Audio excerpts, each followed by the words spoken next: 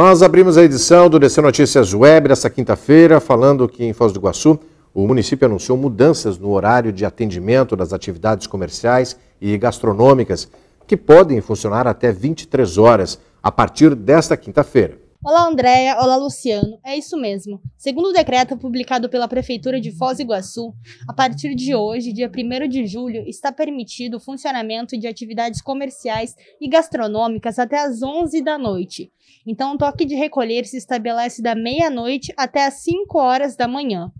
É, de acordo com a Prefeitura também, desde o último decreto, estão permitidos eventos com até 50 pessoas, é, se for autorizado pela Secretaria de Turismo e projetos estratégicos. A expectativa da Prefeitura é que a partir do dia 15 de julho sejam autorizados eventos com mais de 150 pessoas. A partir de setembro, eventos com mais de 300 pessoas. E a partir de novembro, a expectativa é para eventos com ainda mais pessoas, já que boa parte da população estará vacinada.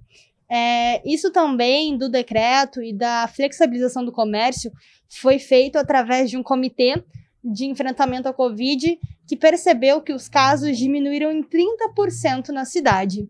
Voltamos aos estúdios.